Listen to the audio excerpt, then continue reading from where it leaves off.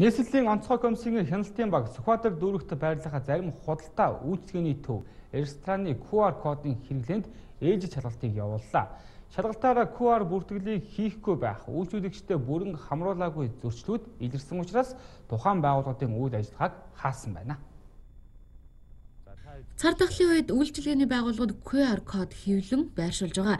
Тухайн кодыг иргэд e-баримт аппликейшнээ ашиглан өөрийн бүртгэлээ оруулах ёстой. Энэ нь цар тахлын үед халдвартай иргэний явсан маршрут болон ойрын хавтлуудыг илрүүлэхэд чухал ач холбогдолтой юм а. Мөн иргэдийн дунд халдвар тархахаас сэргийлэх боломжтой юм. Гэтэл нийслэлийн хяналтын багийнхан Сүхбаатар дүүрэгт ажиллахад Сүхбаатар дүүргийн 17 дугаар хороо, Дамбат аржаад байрлах Миний сүлж, Тус дүүргийн 12 дугаар хороонд байрлах Сансар 32 дэлгүүр болон Их тойроод байрлах Chinese ресторан зэрэг байгууллагууд QR код кодыг хийхгүй байх үйлчлүүлэгчдээ бүрэн хамруулахгүй байх зурчил илэрчээ. Тухайлбал миний сүлжээ дэлгүүрийн үүсгэсэн QR уншигдахгүй байх, сансар сүлжээ дэлгүүрийн QR код уншуулсан бүртгэл 200 гаруй байсан бол кассийн гүйлгээгээр 1000 гаруй хүнд үйлчилсэн зурчил илэрсэн байна. Харин Chinese рестораны кассийн гүйлгээн дээр 200 гаруй хүнд үйлчилсэн мэдээлэлтэй байсан бол QR-ийн бүртгэлийг ердөө 1 хүнд хийсэн зурчил илэрсэн гэлээ.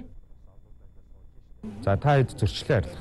E-баримт аппликейшнийг улсын хэмжээнд сая 700 мянган хүн татцсан байна. За энэ бол насан туршид үндсэндээ байгаа шүү дээ тий.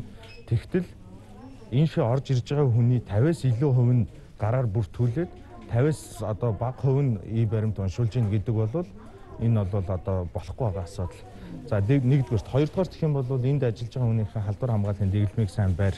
Наадахтаа гараар бүртгэж байгаа иргэдэд бол ерөөсөө үнэхээр одоо гар утас нь ухаалаг биш утастай тохиолдолд за өндөр настай тохиолдолд те За интернет датагүй тохиолдол шиг юм ийм тохиолдолд бич.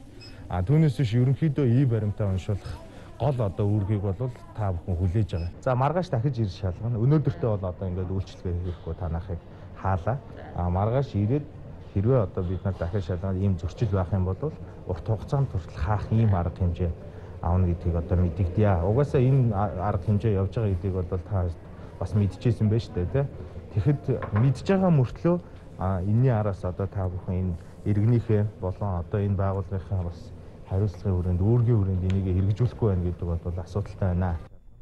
Эдгээр байгууллагуудын үйл ажиллагааг хааж зөрчлийг нь арилгуулсны дараа нээх үүргийг холбогдох албаныханд хөрвүүлсэн байна. Нийслэлийн зүгээс өргөдөгсөн шалгалтыг цаашиж эрчимжүүлэх юм байна. Харин иргэдийн QR бүртгэл хангалтгүй байгаа аж ахуйн нэгжүүдэд шаардлага хөрвүүлж үйл ажиллагааг нь зогсоох хүртэл арга хэмжээ авах юм байна. Иргэд QR бүртгэлийг хариуцлагатайгаар тогтмол ашиглах аж ахуйн нэгжүүд үүнд шаардлага хяналт тавьж үйлчил чившгэн цар тахлаас үүдэлтэй бэлэн байдлын үед бүх нийтийн эрүүл мэндийн аюулгүй байдалд үнэтэй хувь нэмэр оруулах юм а.